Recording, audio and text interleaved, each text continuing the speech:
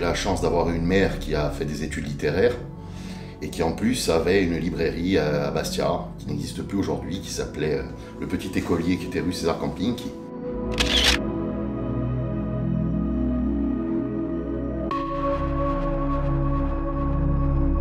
J'ai grandi dans les stocks et j'ai grandi dans le magasin, donc j'ai pioché un peu euh, au hasard en plus de ce qui était convenu de lire à l'école ou euh, de ce que ma mère me donnait à lire.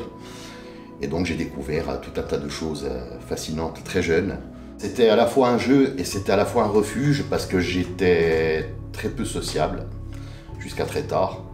Et en fait, je trouvais dans la littérature et dans les livres en général, je ne trouvais pas dehors, c'est-à-dire euh, des échappées, euh, des découvertes, euh, de l'émerveillement aussi, et aussi un contact humain qui est aussi important, je crois, que le contact physique ou amical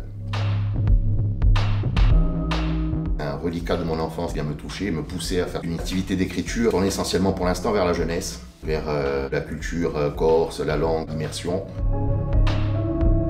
J'essaie toujours d'être un peu iconoclaste et d'aller à, contresens, et plutôt qu'une histoire euh, banale, je dirais, avec des personnages un peu totémiques, stéréotypes presque. Là, j'essaie d'aller plus dans l'archétype et de bousculer un peu certains codes insulaires et donc de, pousser euh, ou à la réflexion ou à la réaction en tout cas. Parce que la Corse a besoin d'être bousculée, parce qu'on a une grosse crise de l'esprit critique et de la critique en général. Mais en fait, la critique, c'est quelque chose de construit qui découpe l'œuvre de manière presque anatomique et qui en livre, je dirais, euh, les tenants et les aboutissants en autorisant pas un jugement de qualité, mais d'avoir pesé sa qualité et d'en livrer les arguments qui vont derrière. Et encore, ça n'existe pas.